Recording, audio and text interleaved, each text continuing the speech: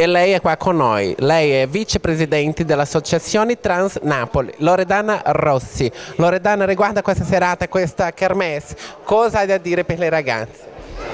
Cosa da dire? È un gioco, in bocca al lupo e vinca la migliore.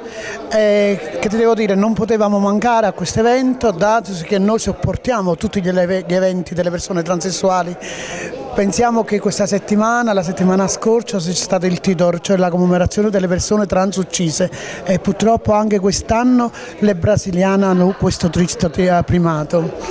Siamo qui proprio per... Ehm, Vorrei dire che Loredana oggi ci ha dato un appoggio veramente grande per questa, questo manifesto perché ci, ci, abbiamo avuto il bisogno e lei subito si è messa in, in mezzo e ha, ci ha aiutato tantissimo.